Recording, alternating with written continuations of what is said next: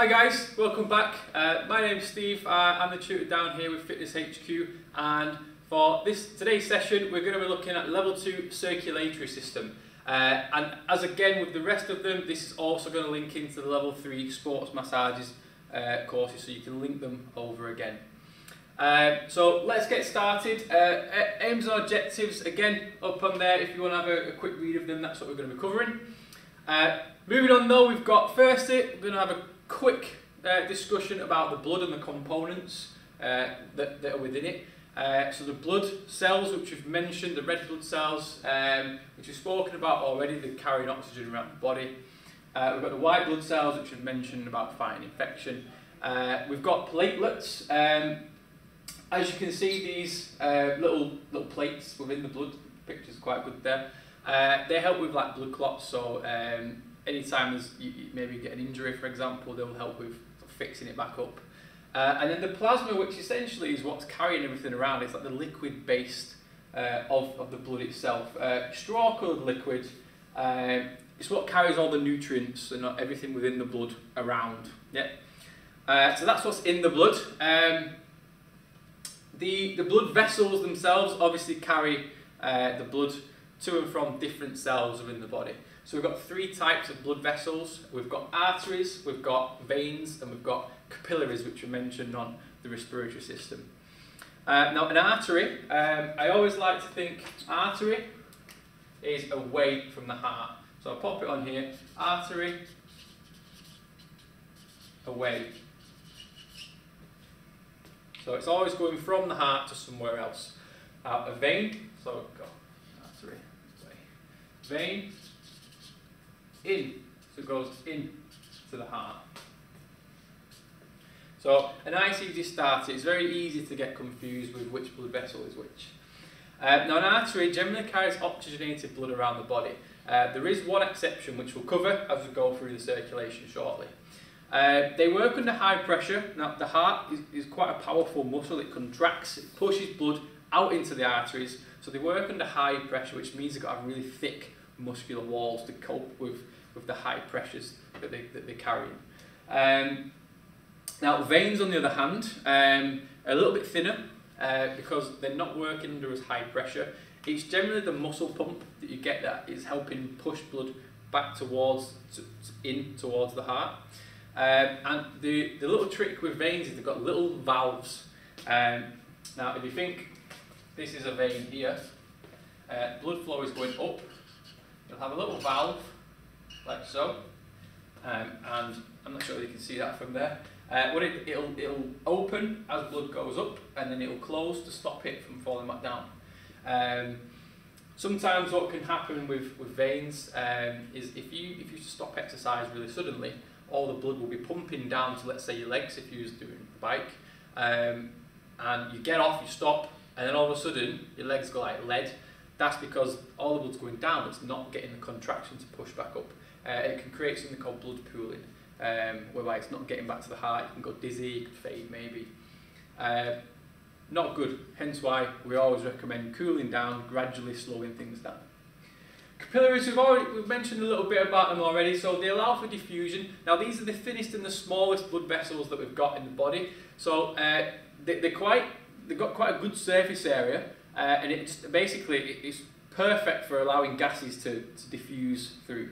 Um, uh, they, you know, they, they, have, they generally come in large networks as well, so uh, it allows for maximum utilisation of oxygen. Uh, so there are different blood vessels that we've got. Um, again, you can put them into a table if you wanted to as well. Controlling the blood flow. Now, obviously, as you gather, when you exercise, you, your muscles need the oxygen, they need the blood. So what your what your blood vessels do essentially is they open and close depending on where the blood's more needed. So let's say we're on the bike as an example. Uh, the arteries going towards your leg muscles will vasodilate, which means they'll get bigger. Think about your eye when it dilates, widens up, doesn't it? So it's the same thing that happens in your arteries. They get wider, it allows for more blood to pass through, get to the muscles quicker, get the blood there, get the oxygen there, and use it through, through the exercise.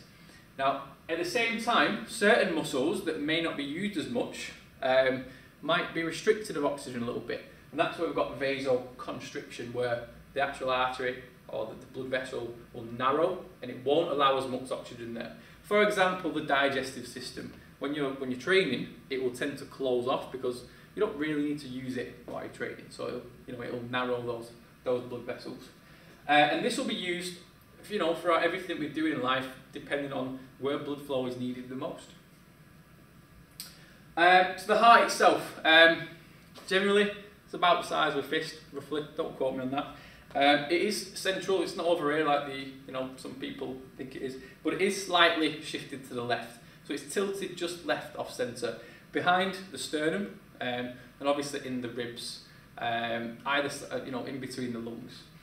Um, its, its job generally is to, is to pump blood to the body, but it also pumps blood back to the lungs as well, uh, which we are going to come on to shortly. Um, on, it says here, you know, a little bit of a, a trivia for you. It's got 80,000 100,000 times a day that it pumps, um, which you may not realise, but like I said, that would be pretty, pretty awkward if you had to control that, wouldn't it? Um, and then again, he's talking two to three million beats in a lifetime. So um, that's uh, you know it's quite a lot of blood that you, your heart's got to pump around the body. Uh, the heart itself, then, um, like we've already mentioned, is uh, is a cardiac muscle and it has four chambers. So we're going to look at a little bit more in detail about the the heart itself. Now you're probably wondering why there's a box there on the board. That's going to come in handy in a second. Um, so as you can see here, uh, you've got what the heart generally looks like. Uh, and it's split into the left and right side, and we've got the red side, we've got the blue side, which I'm going to explain shortly. Um, it's comprised of four chambers. So the top chambers we call atria, or one is an atrium. The bottom chambers we've got the ventricles, or ventricle for one. Um, what we'll do is we'll go through the, the general process of um, blood flow through the heart. Uh, so I'm going to do it on here. Um, I always think this little diagram makes it a lot easier to understand than, than all that. It's, it's quite complicated. So let's talk through it. We'll, we'll get the heart up on its own. Um, and we'll go from the top section here. We've got the lungs to start off with. So the lungs take in the oxygen. And the first process is Obviously, it's oxygenated blood at this point. Uh, now, because it's going into the heart, it's going to be a vein. So the arrow is going in. We call this one the pulmonary vein. Uh, if you see the word pulmonary coming up, it's generally associated with the lungs. Um, so we've got pulmonary vein. Now, the way you look at the heart when, when you're drawing it out is as if you was looking at it, Mike. So this is my left hand side, this is my right hand side. So we're going to use this as the left, this is the right. So we've got the upper chamber, so this is going to be the left atrium. Blood flows into that atrium, it passes straight down into the left ventricle. Uh, and from the left ventricle, it then pumps blood out. So it's going away from the heart, it's going to be an artery. Uh, largest artery in the body, so you can see from here, it's this big red one up here. It's called the aorta. Now the aorta then branches off and it goes to all the different systems in the body. So down here, we'll just call this body. Uh, now all that process is with oxygenated blood. What you tend to find happens is that the body will then use the oxygen and it becomes deoxygenated blood. It's now got carbon dioxide in it. Uh, so the, the right hand side is, is where we've got the deoxygenated side. So from the body, uh, it actually goes back and it flips back to the top of the heart. So this would come up here and it's going to the top chamber. So naturally it's a vein because it's going in. This one is the vena cava.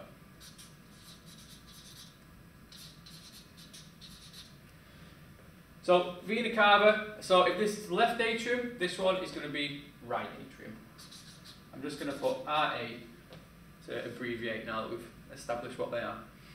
Uh, from the right atrium, it's got to go down at this point, so it always goes down. So it passes into the right ventricle. and from the right ventricle, to finish off the circuit, there's only one place it can go from here. So again, it's away from the heart, so it's an artery. Go up, back to the lungs, close off the circuit, almost like a figure of eight on this side. Um, now that one's a pulmonary vein, pulmonary artery this time.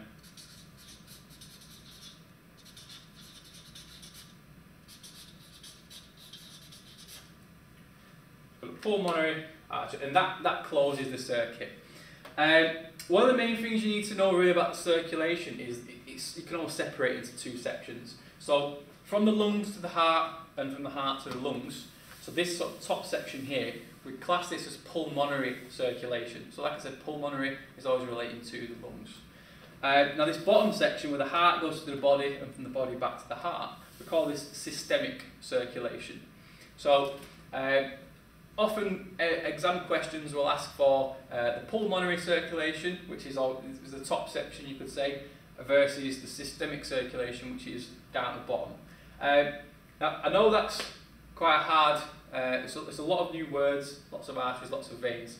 Uh, by all means, draw that out, you know, you can use this video to, to go through it. Uh, I like to think it's a little bit easier format than, than doing it off that, which can get quite complicated. Um, so hopefully um, that should be okay. Uh, but we can always go through more and more, and if you've got any questions on the circulation in particular, which is generally quite hard to get, feel free to comment below and I can get back to any questions you've got. Uh, this then links it up as to what the heart would generally look like. Uh, and we've got some little diagrams there actually, which are pretty cool. Um,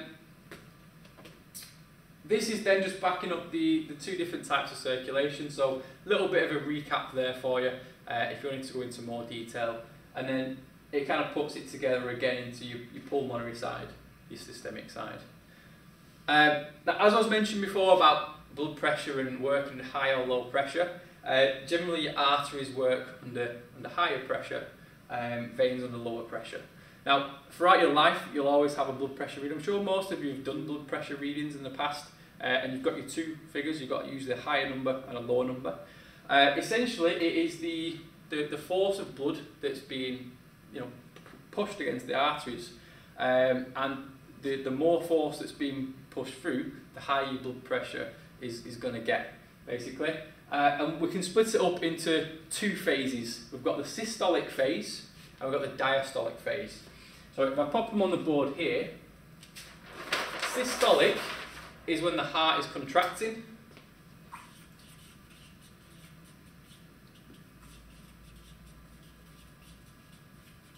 So as the heart beats, yeah, that's a systolic phase. So naturally that's the higher figure that you'd get on a blood pressure reading because there's going to be a lot more pressure being put onto the artery. Uh, now the diastolic phase is, is when the heart starts to relax and it starts filling back up with blood. So naturally it's going to be a lower figure.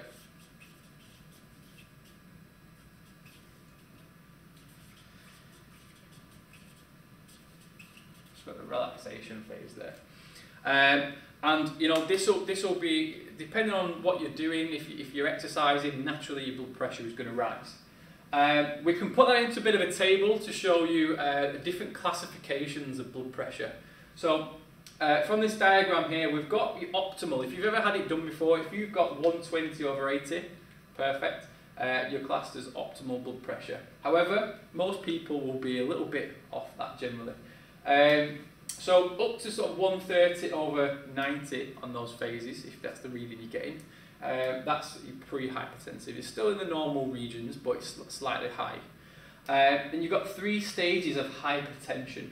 Hypertension just means high blood pressure. Uh, so you may know someone who's got high blood pressure, uh, and they'll generally know what stage they're at. Stage 1, 140 over 90. Stage 2, 160 over 100. Stage 3, 180 over 110.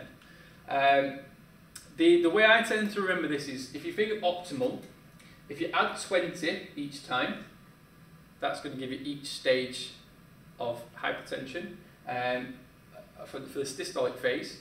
On the diastolic phase, if you go from optimal, if you add 10, that's going to give you each stage on the systolic phase of each, each phase of hypertension there. Um, and that pretty much categorises blood pressure. Uh, I suppose a key a key component of this really is if you do have any clients that are in the hypertensive phase, um, it, it maybe you've got to refer them on to a doctor or they may have already been to the doctor to get referrals. Um, as you know, you need to have extra qualifications to sort of train with these people. A um, little bit of an activity then um, on the heart, so you can have a go at this. Um, see what you can remember. Um, obviously, it's a little bit different to my diagram that I did, but it gives you an idea of what the heart looks like. Uh, so, you know, at this point you can do this. We've also got some recap questions to finish it off, uh, which is on the next slide. So I'll put that up now for you. Um, have a go at these. I'll see you again soon. Thanks.